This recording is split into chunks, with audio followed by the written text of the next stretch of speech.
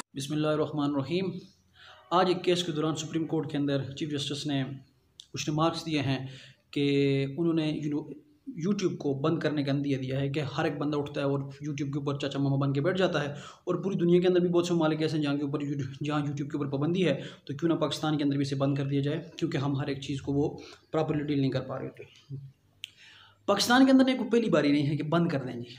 YouTube को बंद कर दें। पाकिस्तान में एक अजीब से किस्म का एक माहौल बनता जा रहा है कि जो मसला आ रहा है वो चीज़ों को बंद कर दो।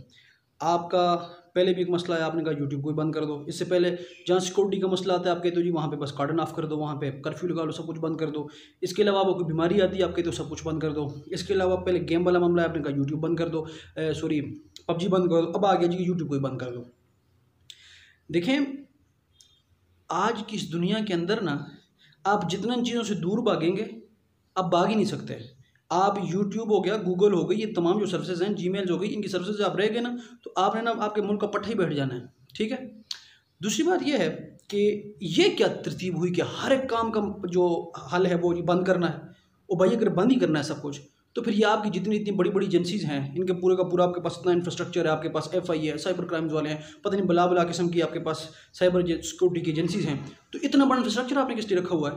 और भाई आजकल तो ये भी पता चलता है कि किस बंदे ने अपलोड किया, कौन है, किस जगह से सारा का सारा है। आप उस स्पेसिफिक जाओ ना, अगर आपने स्पेसिफिक नहीं जाना, अगर आपने हर एक मसले की वजह से सब कुछ बंद ही करना है तो इतने बड़े इंफ्रास्ट्रक्चर और एजेंसी से क्या फ़ायदा है? अब पाकिस्तान के अंदर बुनियादी तौर के ऊपर दो मसले आ रहे होते हैं कि उनको किया जाता है कि इनकी वजह से मसला चल रहा है पाकिस्तान के अंदर। यूट्यूब क्यों बंद होना चाहिए? पहले भी हुआ था। एक ब्लास्मे ब्लास्फेमी के जो कंटेंट है, उसकी बुनियाद के ऊपर और दूसरा रियासत के खिलाफ और अदारों के खिलाफ जो बात होती रहती है अक्सर। अब पहले आते हैं ब्लास्फेमी के ऊपर।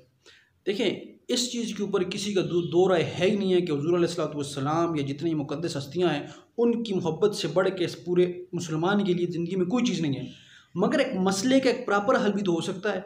अब किसने कहा कि इन मसाइल के जो ख़त्म करना है, वो सिर्फ़ और सिर्फ़ आपको यूट्यूब को खत बंद कर देना है। आपने कभी थोड़ी रिसर्च करें ना तो पाकिस्तान के अंदर आपको पता है कि इस वक्त सबसे जो मेन दो यूट्यूब चैनल जो सबसे ज़्यादा सब्सक्राइब हो रहे हैं, सबसे ज़्यादा जिनका वॉच टाइम है, वो कौन से हैं? वो दोनों मौलाना तारक जमील साहब के हैं। इसके अलावा आपकी जो वन ऑफ़ द मोस्ट वो है यूट्यूब चैनल है, वो आपका हैदर टीवी है और वो भी तमाम इन्फॉर्मेटिव चीज़ें दे रहा है। इट्स मीन्स कि आपको इस वक्त यूट्यूब से बहुत ज़्यादा खैर मिल रही है।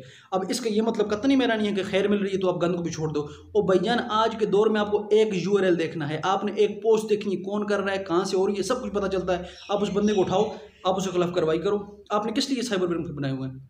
एक तो ये आ गया। नंबर दूसरी चीज़ आ गई कि मुख्तलिफ़ रियासती इदारों के खिलाफ जो भी चीज़ें बातचीतें होती रहती हैं, मैं फिर यही कहूँगा कि आपने जो भी करना है, आपने जो, ये जो साइबर आपने एक्ट्स पास किए हुए हैं, ये किस लिए हैं?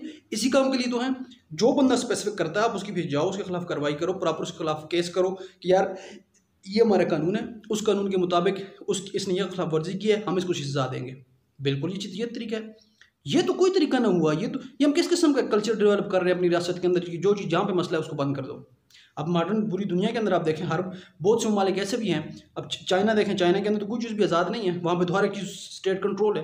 तो वो उसके ऊपर चेक एंड बैलेंस रख रहे हैं ना। उनका अपना व्हाट्सएप भी अपना है हर एक चीज़ उनकी अपनी है। या जो बाहर की भी उसके ऊपर उनका प्रॉपर चेक एंड बैलेंस है आप उससे एक, एक कदम या आगे पीछे नहीं कर सकते। तो हम ऐसा काम क्यों नहीं कर सकते? हम जब इतने बड़े बड़े इंफ्रास्ट्रक्चर हमें रखे हुए हैं, हम टैक्स दे रहे हैं, और भाई बिजली की कीमत आधी होती है, हम उसको डबल देते हैं क्योंकि टैक्स आपने देने हैं। पेट्रोल की चालीस बनती है, हम सौ रुपये में ले रहे होते हैं। क्यों? टैक्स दे रहे हैं क्योंकि हमारे अदारे चलते रहें। और अगर दारों ने एट यही करना है कि सब कुछ बंद करी जाओ तो फिर तो इन इदारों की ज़रूरत ही नहीं है। बस फिर तो आप एक ही इदारा बनाओ जो सब सब कुछ बंद करने का काम करे। ये तो बड़ा जिसे कहते हैं अजीब गरीब किस्म के सूरत हाल है जो हमारे पास बनती जा रही है। इसके अलावा अगर आप देखें कि आज के दौर के अंदर, खासतौर पर कोरोना का जो माहौल गुजरा है, इसके अंदर क्या आपको पता नहीं चला कि आपको जितना स्टूडेंट है पढ़ रहा है, आपके ऑनलाइन क्लासेस में तो जो पढ़ाया है, सबको खैर खरीदी है, जिसने जो को पढ़ा यहाँ से पढ़ा है। इसके अलावा आपके अर्निंग के जो मौके हैं इस वक्त, सारे के सारे पता नहीं, लाखों की तादाद में जो इस वक्त नौजवान है, वो इसी से कमा रहे हैं, सब कुछ कर रहे हैं। तो गुजारिश मेरी ये है कि किसी भी चीज़ के बारे में राय, अब ये फैसला नहीं हो यकीन ये फैसला नहीं हुआ, मगर जब एक रियासत की, एक सुप्रीम कोर्ट के जज चीफ जस्टिस की ज़ुबान से इस तरह के अल्फाज निकलते हैं ना कि हम इसको बंद ही कर दें तो वो ना वो ओवरऑल आपके इमेज अच्छा नहीं जा रहा होता कि क्यों बंद क्यों कर दें? आपके पास इदारे हैं, आप उनके मुतहर करें, आप उनसे काम कराएँ जो भी आपने करना है। हाँ एक इंपॉर्टेंट बात और भी है।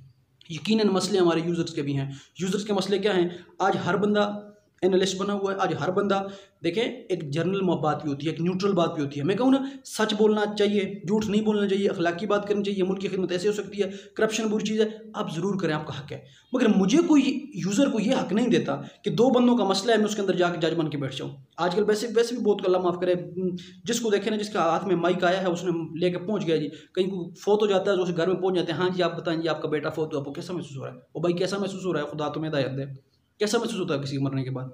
अच्छा हर बंदा बैठा है कोई चिड़िया और आ रहा है कोई क्या कर रहा है कोई जो मेन स्ट्रीम मीडिया के ऊपर बैठे हैं वो भी शाम को आके अपने अपने चैनल बनाए हुए हैं जिसकी जो मर्ज़ी क्योंकि यूट्यूब के चैनल के ऊपर तो आपको फिर वो नोटिस कोई भी नहीं आता तो जिसकी जो मर्ज़ी आती है जी बस थ्योरीज पेश कर रहे होते हैं जी बस आ, क्या अदारों के ख़िलाफ़ क्या इंडिविजुअल लेवल के ऊपर सोसाइटी लेवल के ऊपर हर किसी के ख़िलाफ़ लगे होते हैं तो यूज़र्स को भी चाहिए कि कम अज़ कम आप जब आप एक सोशल नेटवर्किंग का प्लेटफॉर्म यूज़ कर रहे हैं, आपको इसके आदाब के तौर अतवार आदाब आने चाहिए कि आपकी कहाँ तक रेंज है, कहाँ तक आपकी हदूद है। हर चीज़ के लिए आपके पास रियासत नहीं हो करती।